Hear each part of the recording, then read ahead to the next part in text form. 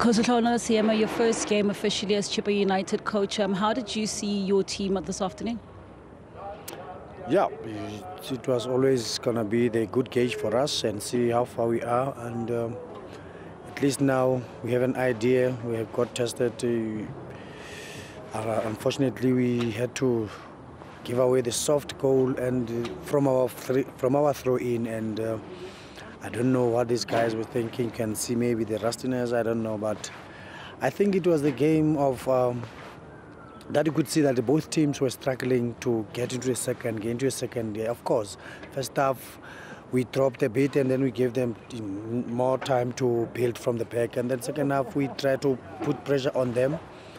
And we could, we looked like we could get something, could get something. But you look at decision making also up front there both teams you could see they couldn't get the, the, the, passes going unless they were starting at the back there where there was no pressure. But once they get to our half there, we put a little bit of pressure, we won the ball. And yeah, we, I'm sure that every attacker that I had on the bench is inside the field. And yeah, we tried, but yeah, you can see that the players, they will come, the cramps, you know, they will come. Thanks God it's the cramps than the injuries, so it's okay. We will see. We'll go back and try to get a recovery and see.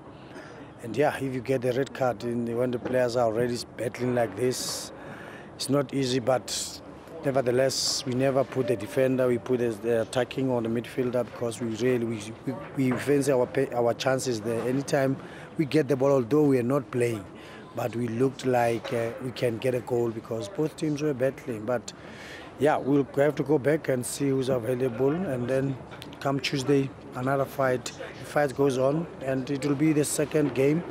Some mileage on the legs, and yeah, for sure we're gonna look at this game. And but there's nothing much that you can look because we did not play. We did not play at all. The guys you can see a little bit rusty. Coach thank you so much. Thank you very much.